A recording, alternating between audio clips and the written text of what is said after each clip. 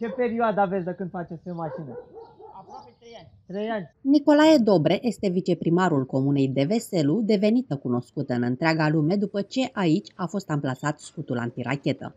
De aproape trei ani, timp de patru zile pe lună, omul părăsește biroul și se urcă la volanul mașinii de colectare a gunoiului menajer în lipsa unui șofer. Omul nu e făcut numai pentru funcții. Omul trebuie să facă și altă muncă.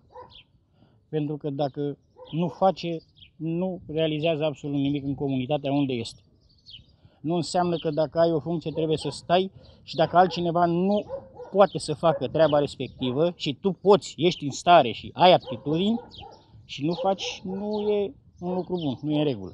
Oamenii din localitate s-au obișnuit cu viceprimarul care le ridică gunoiul. Cei mai mulți îl laudă, dar mai sunt și unii care fac haz de necaz. De cât timp cară gunoiul din comună?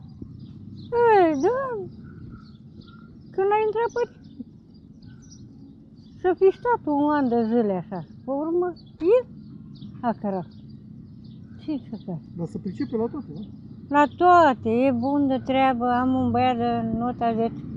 nicăieri în, în țară, probabil un viceprimar nu are o astfel de îndeletnicire gospodărească. Dar este bine că se pune mâna aici în primăria de Veselu și cu toții colaborează la buna desfășurare a, și la gospodărirea comunei. Cum vi se pare ca viceprimarul să vină să vă care gunoiul de la poartă?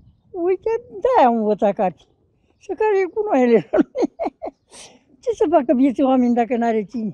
La Deveselu, în Olt, nu doar vicele renunță la birou pentru munca de șofer, ci și primarul Ion Aliman.